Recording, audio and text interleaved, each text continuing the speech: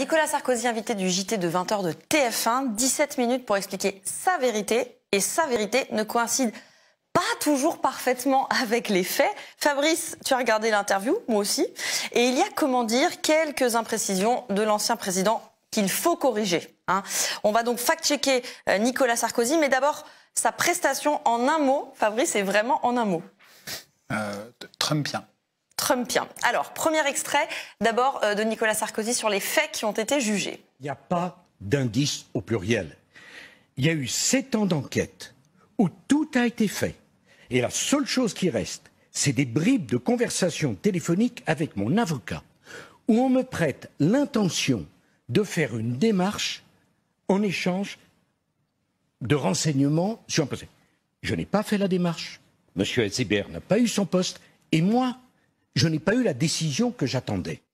Fabrice Nicolas Sarkozy dit qu'il n'a pas fait la démarche et qu'il ne reste que des bribes de conversation. Ouais, alors pour que on, rappelle quand même à tous ceux qui nous regardent, Nicolas Sarkozy était accusé d'avoir obtenu illégalement des informations confidentielles de mhm. la part d'un magistrat sur une affaire qui le concernait.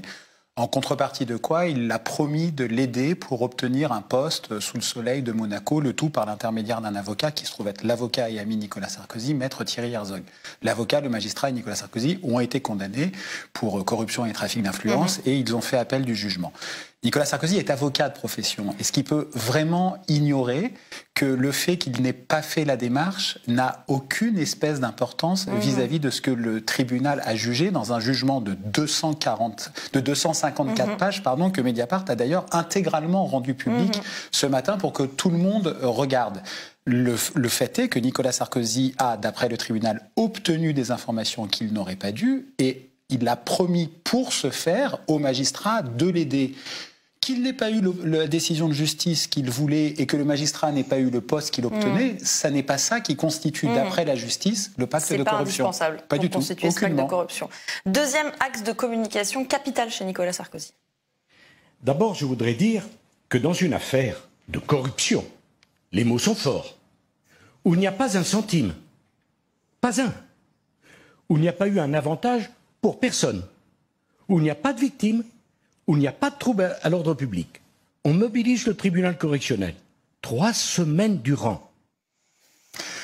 Alors, Nicolas Sarkozy bis repetita est mm. avocat de profession. Mm-hmm. Peut-il ignorer que dans les affaires de corruption, ce ne sont pas des mots, comme il dit, c'est un, un, délit mm. hein, du code pénal, il n'y a pas toujours des questions euh, d'argent. En l'occurrence, là, la rémunération, ou plutôt les rémunérations dans cette affaire, c'est un, ce que je disais tout à l'heure, d'obtenir des informations mm-hmm. confidentielles qu'on n'est pas censé avoir, et deux, pour pouvoir mettre en confiance le corrompu, euh, à savoir le magistrat, puisque dans cette histoire, d'après le tribunal, le corrupteur, c'est Nicolas Sarkozy, on lui promet de les Mhm.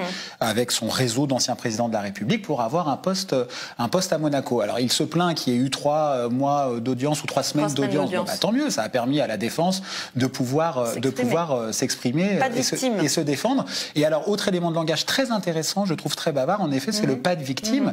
Ben si, le tribunal dit noir sur blanc qu'il y a une victime et non des moindres, la démocratie, l'état de droit, la sécurité juridique. C'est-à-dire que nous, citoyens, nous sommes tous victimes de cet agissement. Autre extrait, cette enquête qui l'innocenterait. Pendant cinq ans, une enquête a été faite pour savoir si j'avais bénéficié d'un renseignement. Cette enquête m'a été cachée. Cette enquête m'innocentait. On m'a remis cette enquête quelques semaines avant le procès. Je dis dans ce cas-là, vous devez annuler l'ordonnance qui m'a renvoyé devant le tribunal. Le tribunal dit, excusez-nous, vous n'étiez pas dans les délais, il fallait le faire avant.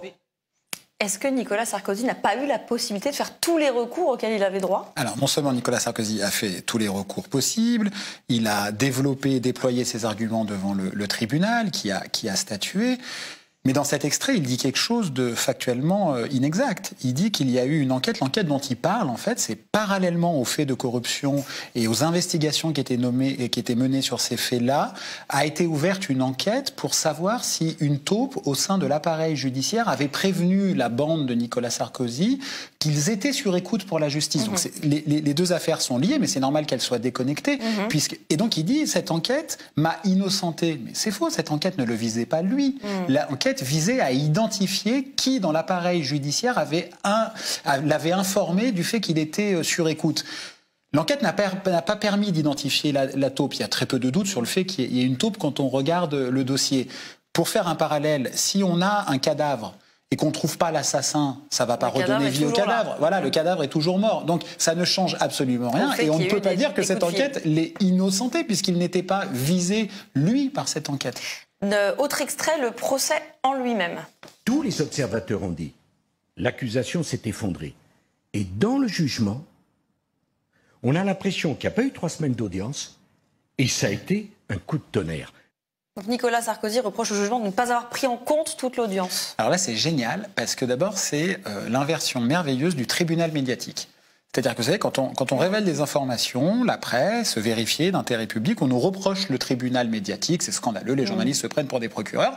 Et là, il ne comprend pas quand la justice, la vraie justice, euh, ne, donne un jugement qui ne correspond pas à ce que lui, il a lu dans la presse. Des observateurs. Alors on ne sait pas qui, qui dit que l'accusation se serait effondrée. effondrée. Alors il aurait peut-être dû lire, par exemple, Mediapart, qui, je ne crois pas, a affirmé euh, ceci. Donc là, c'est marrant comme à quel point on utilise la communication et une forme de, de pression sur l'opinion pour pouvoir emporter la conviction, euh, la conviction des magistrats. Bon, bah oui, l'audience, euh, il croyait que ça s'était bien passé pour lui. C'est un coup de tonnerre. Bah, c'est un coup de tonnerre pour lui parce que la décision lui est défavorable. Il a fait appel. Il est de nouveau présumé innocent, et tant mieux.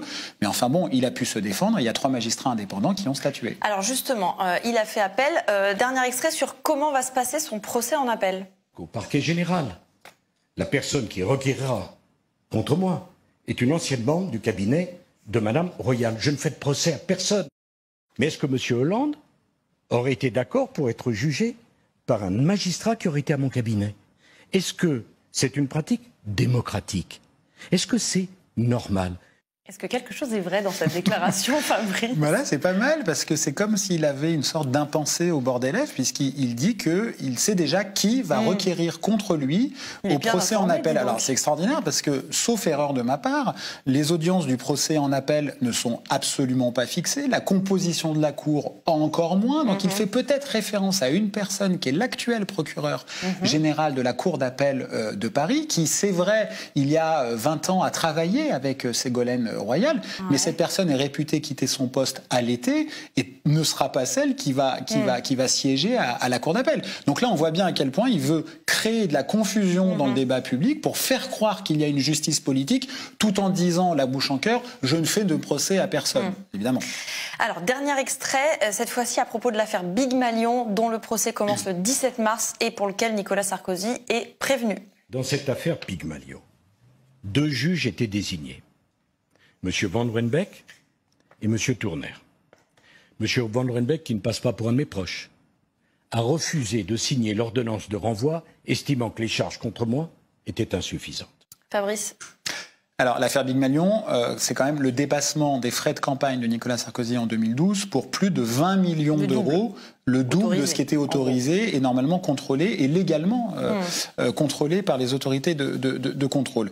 Alors, il dit quelque chose de vrai. Il y a deux magistrats instructeurs mmh. qui avaient en charge du dossier. Il y en a un, euh, Serge Tourner, qui était pour renvoyer Nicolas Sarkozy, estimant qu'il y avait des éléments qui permettaient de le renvoyer le tribunal, devant le tribunal, et Renaud Van Rumbeck, qui a décidé de ne pas signer l'ordonnance. Ce sont des choses qui, qui arrivent hein, dans la justice. Mmh. C'est pas non plus un fait complètement exceptionnel. Mais ce qu'il oublie de dire, parce qu'il essaye de dire, il y avait un, un contre un, un 50-50. Mais ce qu'il oublie de dire, c'est qu'il y a d'autres magistrats qui demandaient son renvoi, et notamment des magistrats du parquet. Et là, pas de chance, c'est pas le parquet national financier. Mhm. Le fameux PNF dont tout le monde, et que tout le monde voue aux gimonies dans le clan euh, Sarkozy, là, c'est le parquet de Paris. Le parquet de Paris, à l'époque où le procureur était François Molins, lequel François Molins a été en cabinet d'un ministre de droite sous Nicolas Sarkozy. Donc on voit bien que là, ça lui pose pas tellement de problèmes, les magistrats qui venaient de cabinet de droite. Donc ton analyse est celle de Michel Deléan qui a suivi le procès Bismuth, euh, est à dire sur Mediapart, ainsi que les 254 pages du jugement que nous publions donc pour que chacun se fasse euh,